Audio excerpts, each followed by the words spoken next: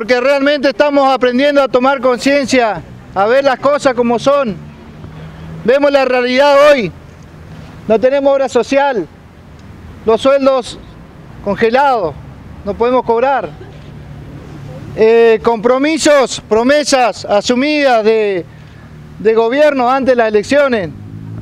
Eh, tenemos acá a la compañera Rosita Contreras, ella nos va a saber explicar mejor la situación de la obra social. Por favor.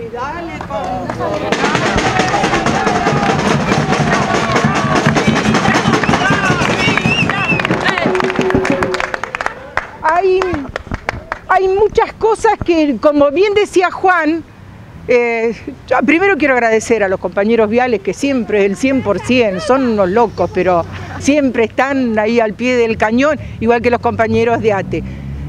Eh, hay cosas que me parece que las tenemos que saber bien profundamente para poder defenderlas.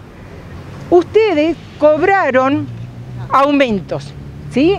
Nosotros, es decir, los jubilados viales, por ejemplo, los jubilados viales deben cobrar el mismo aumento que ustedes.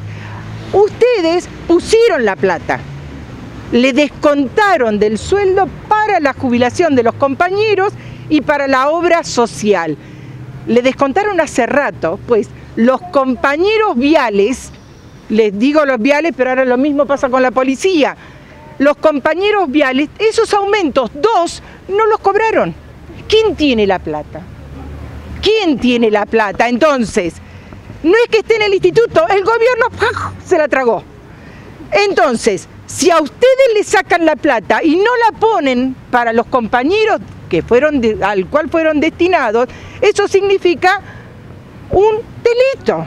Es retención indebida de haberes, porque no fueron al lugar donde debía ir. Con la policía también dos aumentos.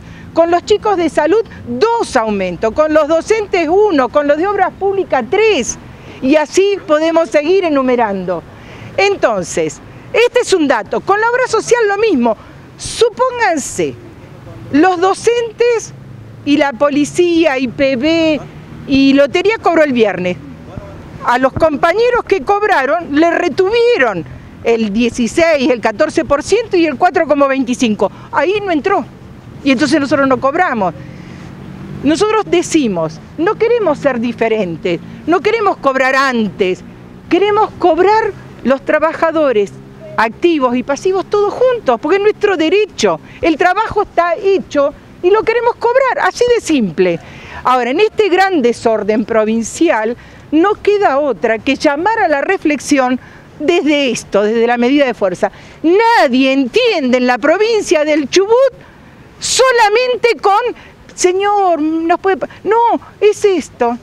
Nos someten a esto. En el caso de los jubilados, jóvenes no somos y nos someten a la violencia de ir a la calle o estar dentro del instituto. No corresponde, estamos cansados. Aunque la lucha nos da dignidad, nos cansa también. Ahora, ni minga de aflojar. Hasta que no esté todo nuestro salario, nuestra obra social funcionando, nadie afloja, nadie afloja. Más, vamos a pedir